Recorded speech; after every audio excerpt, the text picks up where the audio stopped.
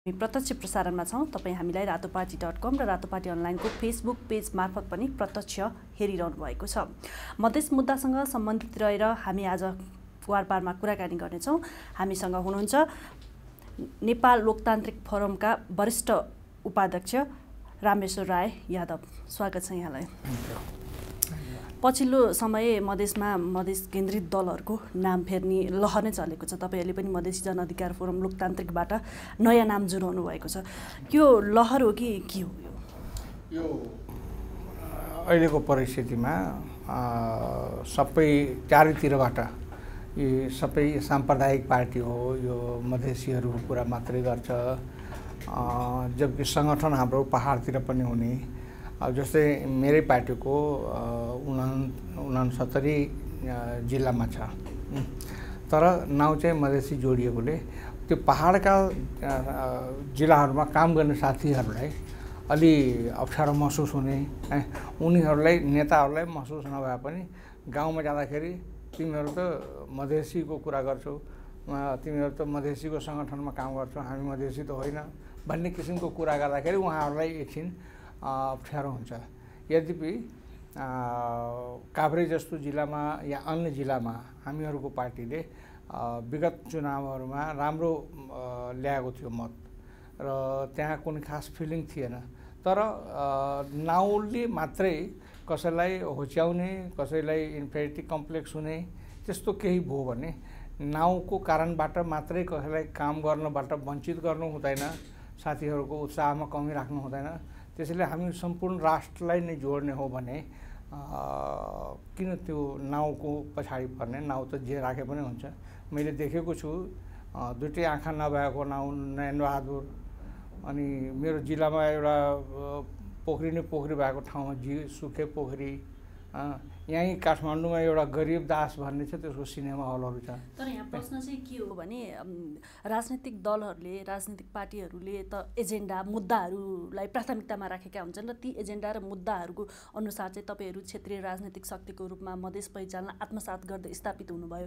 तर अहिले आएर चाहिँ त्यो विश्लेषण गलत छ? थियो अब हामी राष्ट्रिय शक्ति बन्नको लागि राष्ट्रिय सबैलाई समेट्नको लागि होइन। त्यो हिजो पनि गलत थिएन। अहिले पनि गलत होइन। है। त्यो परिवेशको हिसाबमा निर्णय गरिएको कुराहरू हो। मैले भन्दै गर्दा लास्ट टाइम नेपाल सद्भावना पार्टी जुन हामीले सुरु गरेको थियौँ गणेन्द्र सिंहको नेतृत्वमा त्यहाँ त मधेसी र पहाडी कहीँ थिएन। तर त्यो पार्टी त कम्प्लिटली मधेसको नाउँमै बदनाम पनि त। होइन बदनाम नभनौँ मधेसकै नाउँमा अगाडि बढ्यो। त त्यो नाउँको कारणबाट मात्रै पार्टी उँभो लाग्ने र ओह्रालो लाग्ने त्यस्तो केही छैन होइन? नाउँ अलिकति सबैलाई सुट गर्ने कम्फोर्टेबल होस् र अलिकति सकभर सानो नाउँ होस्। जस्तो मधेसी जनअधिकार फोरम नेपाल लोकतान्त्रिक भन्दै गर्दा धेरै टाइम लाग्ने र त्यो भाषणको क्रममा बोल्ने क्रममा मान्छेहरू लटपटिहाल्ने होइन? अनि त्यसमा लोकतान्त्रिक फोरम भने पुगिहाल्छ भने हामीले एउटा अन्डरस्ट्यान्डिङ गऱ्यौँ। र कालान्तरमा आएर नेपाल लोकतान्त्रिक फोरम नाउँ राख्यौँ हामीले होइन? त्यसैले यो चाहिँ एउटा सर्टकट राख्ने जस्तो मेरो नाउँ रामेश्वर यादव हो त कतिले रामु रामु भनेर बोलाउँछ। त रामेश्वर भन्नु पनि अल्छी मान्ने। तर यहाँ प्रश्न र संशय चाहिँ किन भयो भने यो मधेस केन्द्रित सबै दललाई एकैचोटि चाहिँ यो महसुस भयो कि अब चाहिँ मधेसको नामहरू जुन जोडिएर राखेका थिए नि पार्टीको यो एकैचोटि नै हट्यो क्या? त्यहाँ एउटा कुरा के भयो भने जस्तो अहिले यो पछिल्लो चरणमा आन्दोलनहरू हुँदै गर्दाखेरि मधेसवादी दलहरू जति पनि थिए तिनीहरूको भित्र युनिटी हुनुपर्ने भन्ने आवश्यकता जनदबाव अलिक बढी भयो होइन? अब जनदबाव बढी भएपछि र एकता हुने हो भने कुनै एउटा पार्टीको नाउँ राख्दाखेरि त्यो पार्टीको लिगेसी जस्तो देखिने होइन? र यो पार्टी सबै त्यसमा गएर मर्ज गर्यो भने जस्तो भयो। होइन? त त्यस्तो अवस्थामा नाउँ फेर्नु पर्ने आवश्यकता पर्यो। र कमोबेस हाम्रो पार्टीले पनि त्यो परेको जस्तो यो पछिल्लो चरणमा मधेसी जनअधिकार फोरम नेपाल लोकतान्त्रिक अगाडि बढ्दाखेरि हामी पार्टी हाम्रो पार्टीमा पनि थुप्रो पार्टीहरू एकीकृत भएर आयो अनि एकीकृत भएपछि उनीहरूको अस्तित्वलाई पनि स्वीकार गरेर अगाडि बढ्ने हामी मात्रै छौँ हामीमा विलय हुन आएको होइन कि एकीकृत हुन आएको। अनि विलय हुन आउने र एकीकृत हुन आउनेमा त भावनात्मक रूपमा फरक हुन्छ। त्यसैले हामीले उहाँहरूलाई पनि सम्मान होस् र उहाँहरूलाई कुनै पनि किसिमको सहकार्य गर्नमा अप्ठ्यारो नहोस् भनेर हामीले नयाँ नाउँ राख्ने तपाईँ आफै चाहिँ यो नाम पार्टीको नाम परिवर्तनसँग चाहिँ त्यति सन्तुष्ट हुनुहुन्न भन्ने खबर पनि छ नि। होइन मेरो लजिक छ त्यसमा होइन? मेरो अहिले पनि त्यसमा लजिक छ। किन हो भने हामी एउटा चुनाव लड्यौँ त्यसमा हाम्रो पार्टीको नाउँ मधेसी जनअधिकार फोरम नेपाल राखेको थियो। र त्यो नाउँमा एउटा चुनावमा लडिसकेपछि अर्को जनादेश नपाउन्जेलसम्म त्यसलाई छोड्नु हुँदैन कि भन्ने एउटा जिज्ञासा थियो। तर पार्टीभित्र त अब लोकतन्त्रमा हामी विश्वास राख्छौँ बहुमतको कदर पऱ्यो त्यो मेरो रिजर्भेसन छ र पनि अधिकांश साथीहरूको भावना त्यो भएकोले म त्यो नामकै पछाडि अडिरहने र काम गर्न अप्ठ्यारो वातावरण सिर्जना गर्ने मैले नसोचेको। मुद्दा र एजेन्डाको हिसाबले चाहिँ अहिले नेपाल लोकतान्त्रिक फोरम चाहिँ कुन स्थितिमा छ? के मुद्दा र एजेन्डाहरूलाई चाहिँ तपाईँहरूले अहिले प्राथमिकतामा दिने सोच्नु भइरहेको छ? किनभने अब क्षेत्रीयता मात्रै तपाईँहरूले फोकस नगर्ने भन्ने जस्तो बुझिएको छ।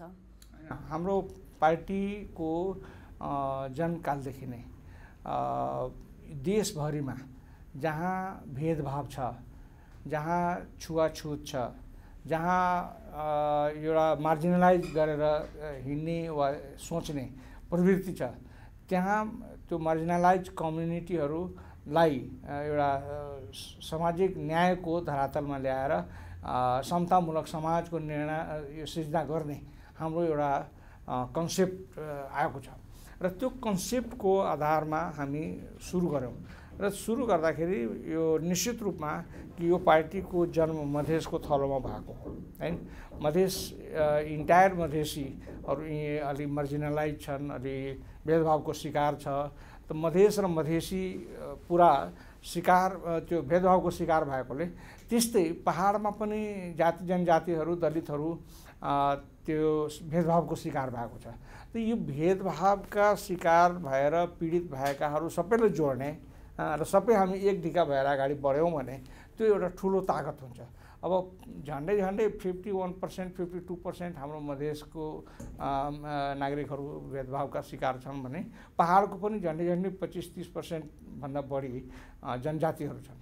र त्यो यो दुइटैलाई जोड्यो भने यो देशको असी प्रतिशत जनसङ्ख्या लाई ओगटेको अब तिनी अस्सी पर्सेन्ट पपुलेसनलाई बिस पर्सेन्टले डोमिनेट गरिराखेको हुन्छ यस्तो अवस्थामा हामीहरू के चाहन्छौँ भने यो समतामूलक समाज निर्माण गर्नको लागि मधेस र पहाडका सबै दलित जनजातिहरू पिछडे पिछडा वर्गहरू मुसलमानहरू सबैलाई जोडेर हामी एउटा आन्दोलन गर्नुपर्छ र संवैधानिक रूपमा एउटा समतामूलक समाजको निर्माण गरेर यो देशको सबै नागरिक एक समान हो व्यवहारमा।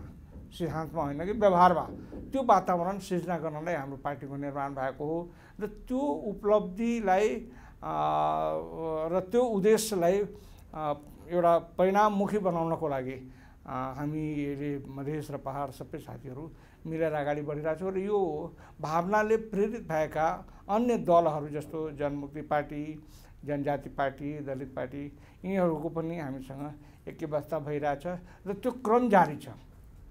त्यो क्रम जारी छ। अगाडि दिनहरूमा पनि हामी यस्ता भेदभाव विरोधी आन्दोलनकारी साथीहरूलाई जोडेर लैजाने हाम्रो एउटा प्रतिबद्धता छ। तपाईँ पछिल्लो समय आफ्नो पार्टीसँग त्यति सन्तुष्ट हुनुहुन्न। तपाईँको पार्टीको अध्यक्षसँग पनि यहाँको सम्बन्ध त्यति हार्दिकतामा छैन। असन्तुष्ट नै हुनुहुन्छ। यो सोह्र सम्झौतादेखि नै तपाईँको असन्तुष्टिहरू बाहिर देखिरहेको छ। एकपछि अर्को असन्तुष्टि किन त्यो होइन। काम गर्ने तौर तरिकामा अलिकति भिन्नता हुनसक्छ। अब हामी हाम्रो स्कुलिङ फरक फरक छ। हाम्रो अध्यक्ष नेपाली कङ्ग्रेसबाट आउनुभएको छ। उहाँको लामो इतिहास छ नेपाली कङ्ग्रेसमा। र नेपाली कङ्ग्रेसमा पनि एउटा जल्दा बल्दा व्यक्तित्वको रूपमा नै उहाँ देखिनुहुन्थ्यो एउटा ठुलै नेता हुनुहुन्थ्यो। र मेरो स्कुलिङ सद्भावना पार्टीबाट हो होइन? म कम्प्लिटली म आफ्नो व्यक्तिगत जीवन या जागिरे जीवन छोडेर वकालत छोडेर आइसकेपछि म पूर्ण रूपमा मधेस आन्दोलनसँग जोडिएको हुँ है। र मेरो नेता त्यतिखेर गणेशनारायण सिंह हुनुहुन्थ्यो स्वर्गीय गणेशनारायण सिंह। त मेरो र उहाँको स्कुलिङ फरक भएकोले काम गर्ने तौर तरिकामा कहिलेकाहीँ मतभिन्नता हुन्छ। तर हाम्रो पार्टीभित्र त्यस्तो कुनै मतभिन्नता खासै मतभिन्नता छैन। त्यो हुँदो हो त म यो पार्टी छोडेर गइहाल्थेँ नि। त्यस्तो त केही छैन। अर्को पार्टी खोल्न सकिहालिन्थ्यो। वा त्यस्तो केही हुन्थ्यो नि त। तर त्यस्तो केही होइन। म मेरो विचार र मेरो काम गर्ने जुन प्रक्रिया छ त्यो कुरालाई इमान्दारीपूर्वक पार्टीमा राख्छु। र मलाई के विश्वास छ भने त्यो नै पार्टी हितको लागि गर्छु म। पार्टी हितको लागि यो तरिकाबाट जाँदा ठिक हुन्छ भनेर राख्छु र त्यो राख्दाखेरि यो अध्यक्षको विरोध गर्यो वा यो असन्तुष्ट छ भन्ने किसिमका कुराहरू साथीहरूले गर्नुहुन्छ। तर म व्यक्तिगत रूपमा मेरो उहाँसँग एउटा भाइचाराको सम्बन्ध छ र हाम्रो बिचमा त्यति साह्रै ठुलो भिन्नता छैन। काम गर्ने तौर तरिका अलिकति फरक छ। म अलि सामूहिकतामा विश्वास गर्छु। म अलि कलेक्टिभ लिडरसिपमा पार्टी हिँडोस् सबैको समान होस् सबैले मिलेर जाओस् भन्दाखेरि त्यहाँ अलिकति डिफ्रेन्सेस देखिन्छ। तर त्यो होइन। त्यसले गर्दाखेरि पार्टीको सङ्गठनमा वा पार्टीमा काम गर्ने तौर तरिकामा खास फरक पर्दैन। त्यस्तो फरक पार्ने किसिमले म अगाडि बढेको छैन। राष्ट्रिय पार्टी बन्ने प्रयासमै हुनुहुन्छ। तर तपाईँहरूलाई क्षेत्रीयता क्षेत्रीय दल पनि भनिन्छ जस्तै विशेष गरी एउटा समुदाय एउटा वर्गसँग बढी नजिक हुनुहुन्छ विशेष गरी थारू समुदायसँग बढी केन्द्रित हुनुहुन्छ भन्ने आरोप पनि लाग्छ। गाह्रो होला नि राष्ट्रिय शक्तिबाट उदय हुनलाई। पहिलो कुरा म यहाँको यो प्रश्नको जहाँबाट उत्थान गर्नु म त्यसलाई संशोधन गर्न चाहन्छु। त्यो के हो भने हामी राष्ट्रिय पार्टी पहिले नै थियौँ। अहिले पनि छौँ भोलि पनि रहनेछौँ। हाम्रो मान्यता के हो भने यो देशभित्रको जुनसुकै समस्या चाहे त्यो मधेसको होस् पहाडको होस् हिमालको होस् त्यो कुनै कम्युनिटीको बारेमा कुनै समस्या छ वा कुनै भूगोलको बारेमा कुनै समस्या छ भने त्यो राष्ट्रिय समस्या हो।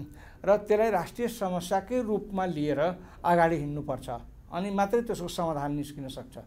कसैले यो मधेसीको समस्या मात्रै हो र यो पार्टीले मधेसको कुरा उठाउँछ त्यसैले यो साम्प्रदायिक हो भन्छ भने त्यो उसको लौताभास हो है। म बरु त्यसै साम्प्रदायिक भन्छु। जसले एउटै देशको एउटा वर्ग विशेषको व्यक्तिहरूलाई वा एउटा समुदाय विशेषको व्यक्तिहरूलाई वा एउटा भूगोल विशेषको व्यक्तिहरूलाई उसको समस्यालाई एड्रेस नगर्ने सम्बोधन नगर्ने र उसले आफैले उठाउँदाखेरि त्यसलाई यदि साम्प्रदायिक वा क्षेत्रीयता भन्छ भने त्यसले राष्ट्रको राष्ट्रियताको भावना नबोकेको समष्टि राष्ट्रको एकीकृत रूपमा अगाडि बढाउन नखोजेको भन्ने मलाई लाग्छ। मेरो विचारमा हिजो पनि मेरो पार्टी राष्ट्रिय पार्टी थियो हाम्रो विचार राष्ट्रिय पार्टी थियो राष्ट्रिय विचार नै थियो र भोलि पनि त्यही रहनेछ। अब काम गर्ने क्रममा जहाँबाट हामी थालनी गऱ्यौँ त्यहाँबाट हामी उँभो लागिरहेछौँ।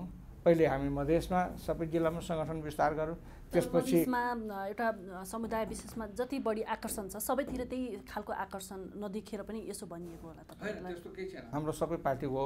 हाम्रो पार्टीको सबै समुदायमा समान रूपमा आकर्षण छ। अब अध्यक्ष थारू भएकोले तपाईँहरूलाई वा अरू कसैलाई लागेको हुनसक्छ कि थारूको पार्टी हो भनेर। त्यस्तो होइन। म पनि त्यही पार्टीको सिनियर भाइस प्रेसिडेन्ट छु।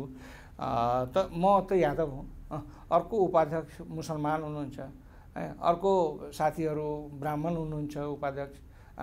त्यस्तो सबै किसिमको हाम्रो समावेशी पार्टी। अहिले बरु साँच्चै नै भन्ने हो भने राष्ट्रिय भनाउँदा पार्टीहरूभन्दा बढी समावेशी यो पार्टी छ। है?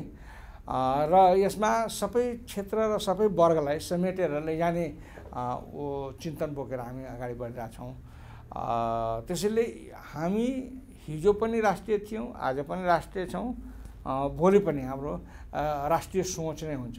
हाम्रो बारेमा यो दोषी चस्मा लगाउने लगाएर हेर्ने व्यक्ति वा शक्तिहरूलाई सचिन म आग्रह गर्छु।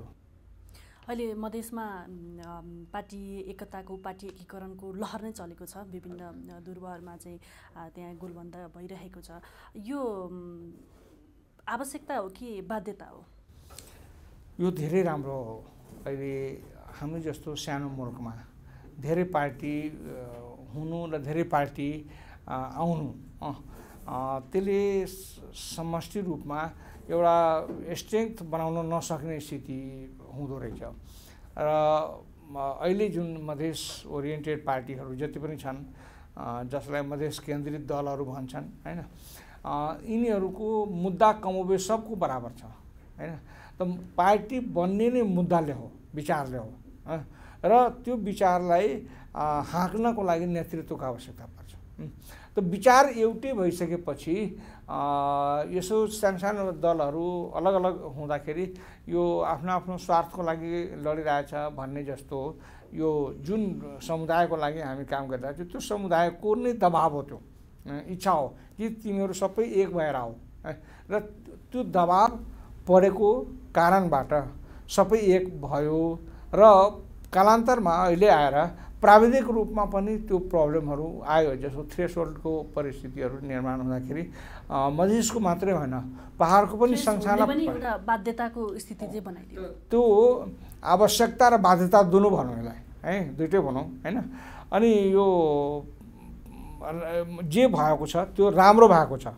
कमसेकम अमेरिका जस्तो ठुलो देशमा यो ब्रिटेन जस्तो त्यत्रो लामो इतिहास भएको देशमा थोरै पार्टी छ। त्यहाँ राम्रोसँग रन गरिरहेछ। त्यस्तै कालान्तरमा हामी कहाँ पनि यस्तै चोटिँदै जाँदा एक एकीकरण गर्दै जाँदा पार्टीहरू एक अर्कामा मिसिएर आउँछ कि जस्तो लाग्छ मलाई। समान विचार बोकेका दलहरूको बिचमा एकरूपता वा सहकार गर्ने भावनाहरू बढ्दै गइरहेछ।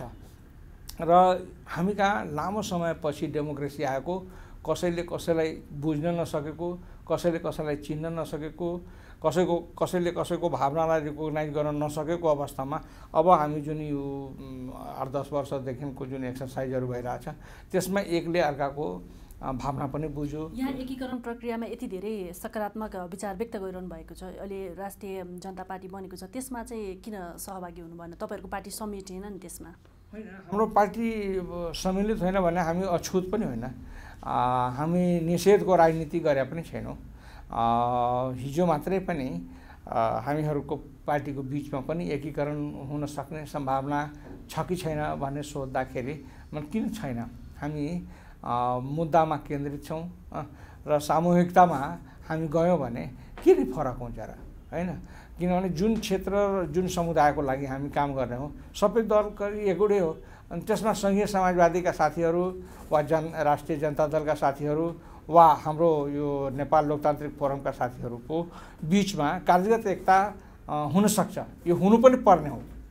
कमसेकम संविधानमा हाम्रो सम्पूर्ण मार्जिनलाइज कम्युनिटीको कुराहरू यथेष्ट रूपमा लेखाउनको लागि पनि हामीहरू कार्यगत एकता हुनुपर्छ। हाम्रो सम्पूर्ण तागतलाई तितर बितर गरेर एक भएर अगाडि बढ्न सक्यो भने त्यो धेरै राम्रो हुन्छ जस्तो लाग्छ।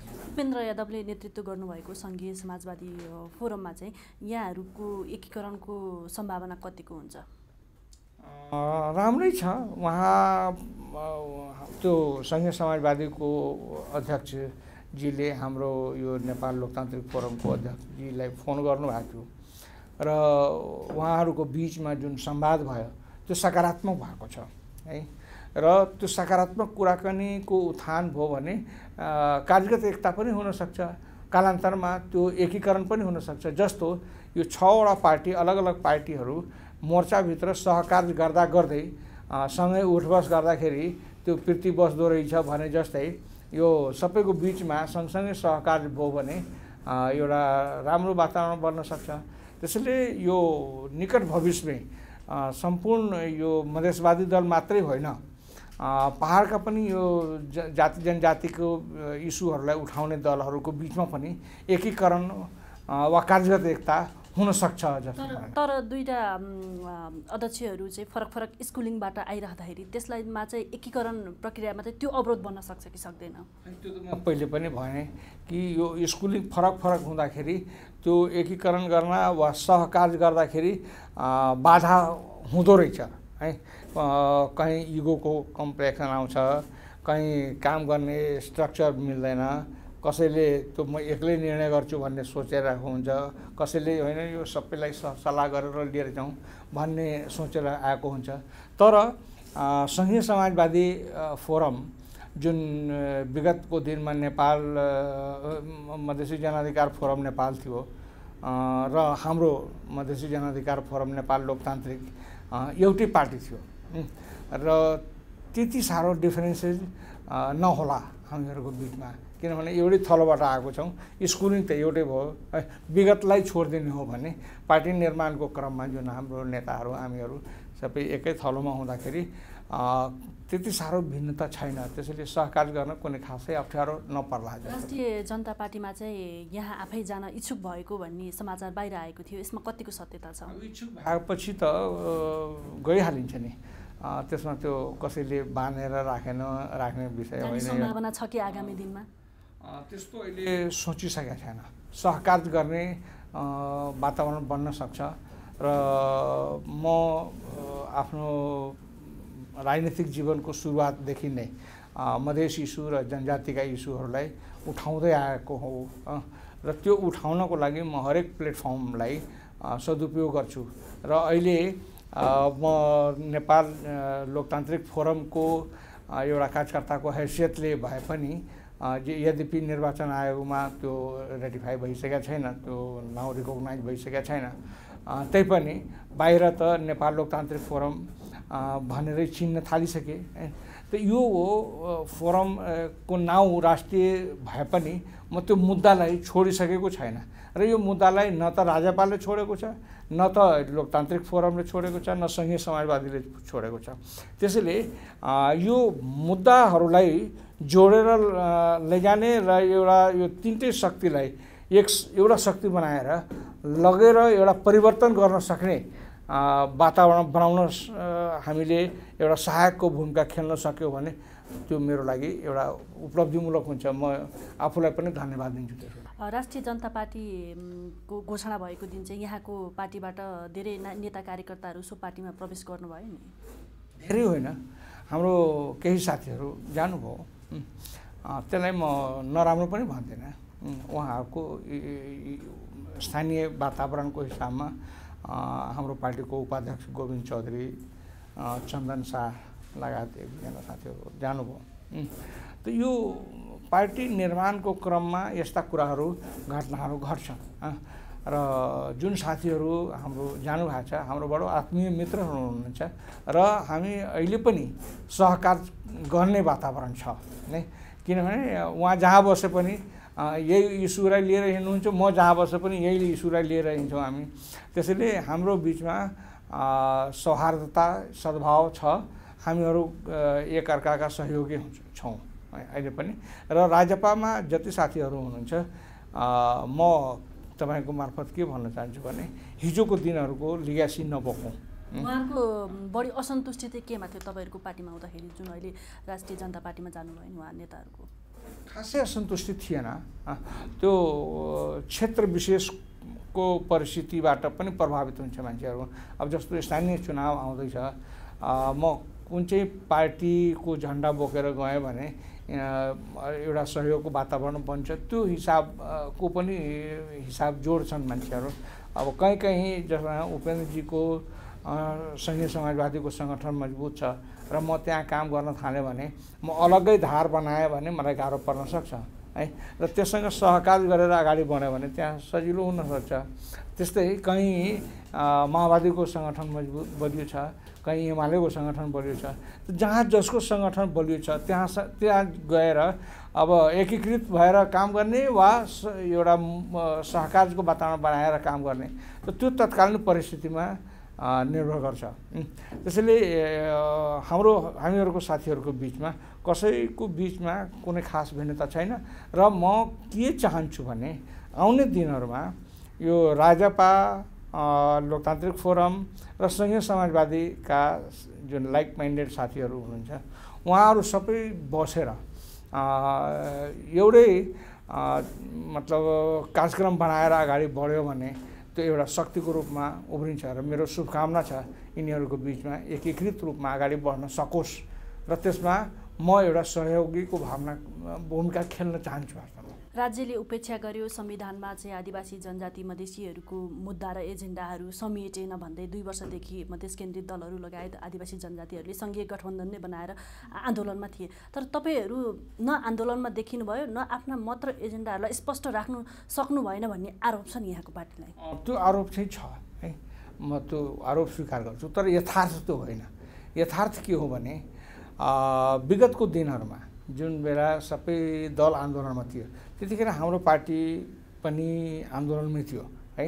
र तपाईँलाई एउटा सबुत दिन्छु त्यसको लागि कि विगतको मधेस आन्दोलनमा टिकापुर घटना जुन भयो त्यो टिकापुर घटनाको सेरोफेरोमा सबभन्दा बढी भिक्टिमाइज मधेसी जनाधिकार फोरम नेपाल लोकतान्त्रिकका कार्यकर्ता भए।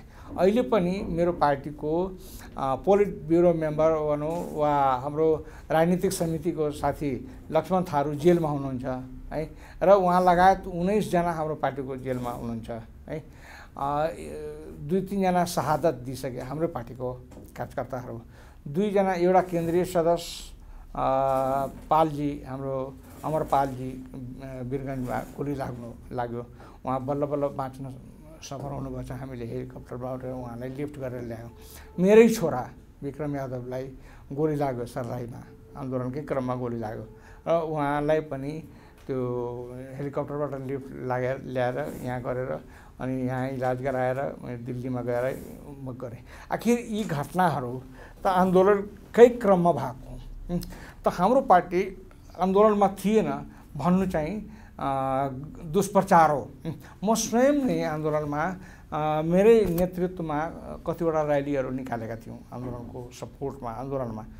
भनेपछि यो पूर्वाग्रह राखेर कसैको कुनै पार्टीको बारेमा वा कुनै व्यक्तिको बारेमा कसैले बोल्छ भने अब त्यो बोलोस् तर त्यो सच्चाइ होइन।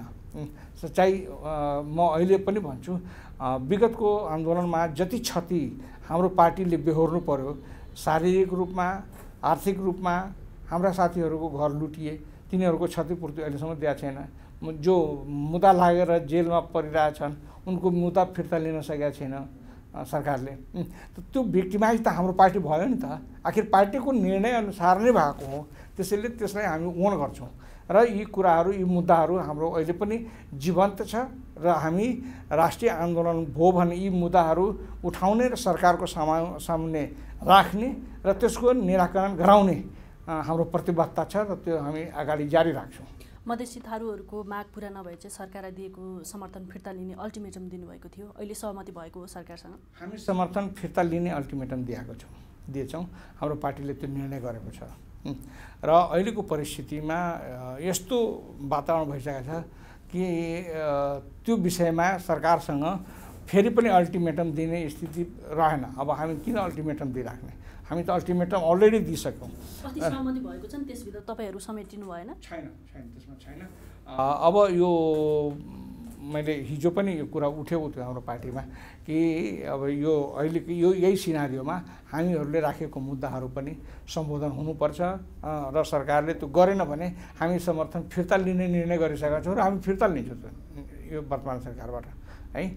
त्यो गठबन्धनले नै मधेसी आदिवासी जनजाति थारूहरूकै मुद्दाहरू उठाउनु भएको हो। त्यही हो तर सम्झौता अलग अलग भएको छ। जस्तो हाम्रो बिचमा हाम्रो पार्टी र सरकारको बिचमा आठ बुधे सहमति भएको थियो कसैको तिन बुधे सहमति भएको थियो कसैको बाह्र बुधे सम्झौती भएको थियो कसैको बाइस बुधे। यो बुदाहरू पनि यति नै भए कि अब त्यो सबैलाई एक ठाउँमा राख्नुपर्ने अवस्था आइसक्यो। तर त्यो मुद्दा सम्बोधन गर्ने क्रममा ती कुराहरू पनि आउँछ। तर जुन सम्झौताहरू भएको छ त्यसलाई सम्बोधन हुने गरी सम्झौताहरू हुनु राम्रो हो जस्तो लाग्छ मलाई। तपाईँहरूको पार्टीलाई चाहिँ बढी सत्ता केन्द्रित पार्टीको रूपमा बाहिर चिनिन्छ र त्यसै अर्थाइएको छ। अब फेरि सरकारमा जाने अफरहरू पनि आएका छन्। त्यो अहिलेको परिस्थितिमा जति पनि पार्टीहरू छन् चाहे पाहाडका हुन् चाहे मधेसका हुन् यो रोगबाट अछुत चाहिँ कोही पनि छैन है। सबै सरकारमा गएकै हो। जान इच्छा राखेकै हो। र राजनीतिक दलहरू खोलिसकेपछि सरकारमा जाने चाहना र सरकार मार्फत आफ्नो कुराहरू सम्बोधन गराउने को चाहना राख्नु अपराध पनि होइन। तर अपेक्षाकृत अरू दलको हाम्रो दलको नेता अलि बढी एक्टिभ हुनुहुन्छ बढी सक्रिय हुनुहुन्छ बढी देखिनुहुन्छ अनि आफ्नो कुरा बोल्डली राख्नुहुन्छ। र आफ्नो कुरा मनाउन पनि धेरै बोल्डली राख्नुहुन्छ। त्यो कारणबाट घरिघरि उहाँलाई समस्या समाधान गर्ने उद्देश्यले सरकारमा आउनुहोस् भन्नुहुन्छ। तर हामी पनि सफल भइसकेका छैनौँ। हामी सरकारमा गए पनि हाम्रा कुराहरू सम्बोधन नभएको धेरै भएको छ। त्यसैले हामी सरकारलाई प्राथमिकता दिनुभन्दा मुद्दालाई नै प्राथमिकता दिन्छौँ। र अहिले पनि हामी त्यस्तो कुराहरू आयो भने हामी यो मुद्दालाई छोडेर जाने होइन कि मुद्दा लिएर जाने। अब यस्ता किसिमका लडाइँहरू एकै दिनमा सल्टिँदैन पनि। मलाई सम्झना छ सद्भावना पार्टीको सुरुवात गर्दाखेरि नागरिकता इस्युमा मात्रै हामी सुरु गऱ्यौँ है? तर त्यो बढ्दै बढ्दै अहिले धेरै व्यापक रूपमा बढ्यो है र एउटा राष्ट्रिय अन्तर्राष्ट्रिय रूप लिइसकेको छ है। त्यसैले अब यी मुद्दाहरू जुन नागरिकताबाट सुरु भयो आज यो देशभरिमा जुन यो जति भेदभावका शिकारमा परेका हुन्छन् यिनीहरूको मुद्दा आज युएनमा उठ्ने भइसक्यो अन्य अन्तर्राष्ट्रिय जगतले यसलाई रिकगनाइज गर्यो। त यो एकै दिनमा भएको होइन। गजेन्द्र बाबुको पालादेखि अहिलेसम्म चल्दै गरेको भएकोले यो एकै दिनमा हुँदैन र यो अझ पनि यति चाँडै टुगिँदैन प्रणाली अस्ति सरकार र मधेस केन्द्रित जुन सङ्घीय गठबन्धनहरू थियो त्योसँग चाहिँ एउटा खालको समझदारी बनिसकेको छ। त्यसप्रति तपाईँहरूले के धारणा बनाउनु भएको छ? जस्तै सत्र गतेको संसद बैठक चाहिँ संविधान संशोधन त्यो विधेयक पारित गर्नको लागि चाहिँ निर्णायक दिनको रूपमा पनि लिएको छ। तपाईँहरू पक्ष विपक्ष केमा मतदान गर्ने मनस्थिति बनाउनु भएको छ? ओपिनियन बनाइसकेका छैनौँ त्यसको लागि भर्खर विधेयक पेस भएको छ र हिजो राति धेरै ढिलो राति हाउसमा सहमति भएर एउटा भनौँ न सैद्धान्तिक छलफलको प्रारम्भ भएको छ। अब यसलाई हामी आफ्नो मुद्दा र यो विधान संशोधनको दुइटैलाई दाँजेर एक ठाउँमा राखेर हामी छलफल गर्दैछौँ। यस संशोधनमाथि पनि संशोधन दिनुपर्ने परिस्थिति पनि पर्न सक्छ। हामीहरू साथीहरूको बिचमा छलफल भइरहेछ र मेरो हाम्रो पार्टीको संसदीय दल यसमा ज्यादै सक्रिय देखिएको छ। चुनावको तयारी कसरी गरिरहनु भएको छ? जस्तै संविधान संशोधन हुन सकेन भने पनि तपाईँहरू चुनावमा जाने स्थिति छ कि छैन एउटा कुरो म के भन्न चाहन्छु भने जबसम्म सहमतिको वातावरण बन्दैन तबसम्म चुनावमा जानु भनेको एउटा द्वन्द्व निम्त्याउनु हो। यो मेरो निजी धारणा पनि हो र राजनैतिक धारणा पनि हो। हाम्रो पार्टी पनि यो कुरालाई बडा जोरदार ढङ्गले भनिराखेको छ कि हामी चुनावमा जाने चुनाव विरोधी हामी होइनौँ। चुनाव हामीलाई बढी चाहिएको छ किनभने यो देश विगत बिस वर्षदेखि जनप्रतिनिधित्वविहीन छ। र यो बिचको ग्यापिङलाई पुरा गर्नलाई चुनाव यथाशीघ्र हुनुपर्छ। तर त्यो चुनाव हुनुभन्दा पूर्व सबैको बिचमा एउटा सहमतिको वातावरण बनेर गयो भने त्यसले एउटा निकास दिन्छ है। र सहमति बिनाको चुनावमा हामी गयौँ भने त्यो एउटा द्वन्द्व निम्त्याउँछ। हामी त्यसै पनि यो देश द्वन्द्व पीडित धेरै भइसक्यो है। हजारौँ हजार मान्छेले आफ्नो ज्यान गुमाइसके। अहिले पनि यो मधेस आन्दोलनमा लगातार मान्छेहरूको क्याजुअलिटी बढेको बढै छ। योलाई रोक्नको लागि यसलाई बन्द गर्नको लागि र यसलाई न्यून गर्नको लागि हामीहरूको बिचमा एउटा सहमतिको वातावरण बनाउनुपर्छ। र राष्ट्र विकासको लागि पनि राष्ट्रिय निकासको लागि पनि राष्ट्रिय भावनाको लागि पनि हामीहरू एउटा सहमतिको वातावरण नबनाइकन चुनावमा जान सहमति त अब सबैले भनिरहेको छ तर मध्यमार्गी उपायहरू मध्यमार्गी विकल्पहरू यहाँ अगाडि आउन सकिरहेको छैन जस्तै सरकारले संशोधन विधेयकले प्रस्ताव लिएर आएको छ त्यसलाई हुबहु पारित हुनुपर्छ पास हुनुपर्छ भनेर सङ्घीय गठबन्धन भनिरहेको छ त्यसलाई स्वीकार गर्न सकिन्न भनिरहेको छ एमाले। जस्तै मध्यमार्गी विकल्पहरू चाहिँ यहाँ देखिएको छैन त्यसमा चाहिँ तपाईँहरूको दलको भूमिका चाहिँ के हुन्छ? हाम्रो दलको भूमिका के हुन्छ भने दुवै पक्ष दुई अतिवादीहरूको बिचमा एउटा सहजकर्ताको भूमिका हामी निर्वाह गर्न चाहन्छौँ। विगतमा जुन खालको भूमिका तपाईँहरूको देखेको थियो पछिल्लो समयमा त्यो त्यति देखिरहेको छैन नि? होइन त्यो समय चौबिस घन्टा त मान्छे रेसमै हुँदैन होइन?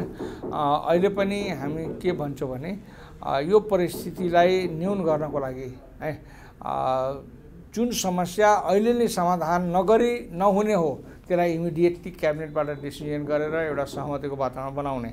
र जुन दुर्गामी असर पार्ने खालको छ त्यसलाई एउटा कुनै उच्च स्तरीय आयोग बनाएर हुन्छ कि एउटा बिचमा चट छोड्ने होइन कि त्यसलाई जिउँदो राख्न राखेर फेरि पनि डिबेट हुने गरी पार्लियामेन्टबाट निकास निकाल्ने गरी त्यसलाई थाती राखेर अगाडि बढ्ने कि मान्ने दुइटै कुराहरू अगाडि बढिरहेछ। र यस्तोमा म हाम्रो पार्टी के चाहन्छ भने अलि पछिल्लो चरणमा पनि समाधान गर्न सकिने खालका मुद्दाहरूलाई एउटा थाती राख्ने र समझदारी बढाउने तर इमिडिएट हुने विषयहरूलाई हामी समाधान गरेरै जानुपर्छ। यसलाई बासी राख्नु हुँदैन भन्ने हाम्रो पार्टीबाट अतिवादी समूहहरूको चर्चा नै गर्नुभयो। यहाँले पनि त्यस्तो देखिँदै पनि छ। के मधेसी मोर्चालाई भन्न खोज्नु भएको त हो नि एउटा अतिवादको? अतिवादी भन्न खोजेको मैले क्लियर कट भन्नुपर्दा यो तथाकथित राष्ट्रवादी जुन हुन्छ नि जसले एउटा पक्ष त त्यो भयो। जसले आफ्नोलाई मात्रै राष्ट्रवादी ठान्ने एउटा क समुदाय विशेषलाई मात्रै राष्ट्रवादी ठान्ने अर्को अनुहार नमिल्ने वेशभूषा नमिल्ने भाषा नमिल्नेलाई राष्ट्रवादी नठान्ने एउटा भूगोल विशेषलाई मात्रै राष्ट्रवादीको प्रतीक मान्ने खालको प्रवृत्ति जुन छ त्यो प्रवृत्ति अहिले हाबी छ। र म त्यसलाई अतिवादी भन्छु। र त्यस्तो अतिवादी को मतलब त्यस्तो अतिवादीले समस्या समाधान हुँदैन त्यस्तै यो मुल्कबाट हामी तोडेरै लगिजान्छौँ यहाँ फलानु भूभागलाई कसैले भन्छ भने त्यो पनि अतिवादी चिन्तन हो त्यसैले दुइटै अतिवादी चिन्तनको बिचमा एउटा फ्युजन निकाल्न सक्नु पऱ्यो र त्यसलाई राज्यले पहल गर्नुपर्छ है त्यो चाहिँ भइसकेका छैन भइराखेको छैन अहिले र एउटा यो तथाकथित राष्ट्रवादी तत्त्व जुन छ जसले आफूलाई मतलब राष्ट्रवादी ठानिरहेछ कृत्रिम रूपमा। म त त्यसलाई यो खण्डित राष्ट्रवादी भन्छु। र त्यो खण्डित राष्ट्रवादी चिन्तन बोकेकाहरूले त्यो परिस्थितिको परिकल्पना पनि गर्नुपर्छ अर्को अतिवादी प्रवृत्तिको। र यो दुइटै अतिवादको बिचमा अहिले जुन यो मधेसवादी दलहरूले दलगत एकता र भावनात्मक एकता भएर अगाडि बढाइरहेछ त्यसले एउटा निकासको बाटो दिन खोजिरहेछ। त त्यो निकासको बाटो दिन खोजिरहेको अवस्थामा त्यसलाई रिकोगनाइज गर्नुपर्छ। त्यसलाई रिकोगनाइज नगर्ने तत्त्वहरूले यो देशमा स्थायित्व न नहोस् यो देशमा शान्ति व्यवस्था कायम नहोस् यो देशमा द्वन्द्व रहिरहोस् त्यो धमिलो माछामा पानी धमिलो माछामा माछा धमिलो पानीमा माछा मार्ने जुन प्रवृत्तिहरू छ त्यो प्रवृत्ति कायम राखिराख्ने खालको जुन व्यक्तिहरू छ वा शक्तिहरू छ त्यस्तोबाट देशलाई जोगाउनुपर्छ भन्ने मलाई लाग्छ। समस्या समाधानका लागि मध्यमार्गी उपायहरू पहिलाउन चाहिँ यहाँको पार्टीको पनि भूमिका होस् यहाँको महत्त्वपूर्ण समयको लागि धेरै धेरै धन्यवाद। धन्यवाद। दर्शकहरू आज हामीले मधेस मुद्दासँग केन्द्रित रहेर कुराकानी गर्यो। नेपाल लोकतान्त्रिक फोरमका वरिष्ठ उपाध्यक्ष रामेश्वर राई यादवसँग आजका लागि हामीलाई बिदा दिनुहोस्। नमस्ते।